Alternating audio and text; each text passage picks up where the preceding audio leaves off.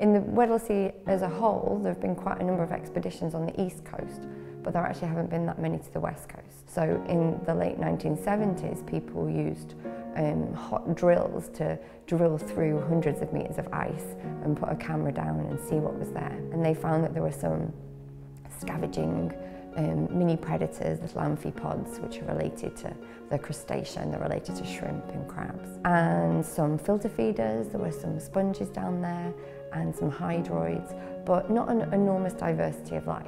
But that could be just because they were looking at a very small area. Since then, there have been a few more hot holes drilled through the ice, and um, the, the, it seems to be slightly more diverse. So there are um, sea cucumbers have been seen, and um, other, other scavenging animals, some suspension feeders are feeding from any flocculent material in the water column. But again, not high diversity, so it might be indicative of quite a poor nutrient um, ecosystem.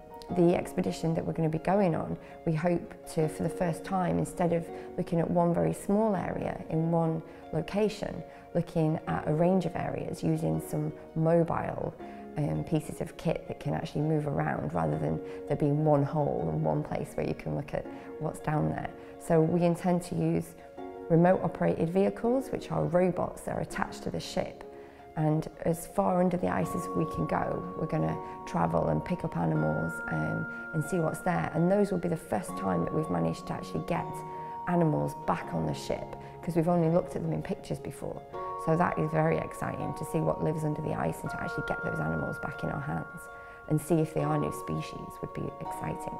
We're going to use automated underwater vehicles as well and these are not attached to the ship at all and they can go under the ice for potentially long distances. So we program them, we give them a plan and they go off and they do this plan over about a day. So we release them and then we go and do other stuff and after a day we'll pick them up and we'll get a lot of downward facing pictures of the seafloor so we'll be able to see what's underneath the, the areas that we can't even sample.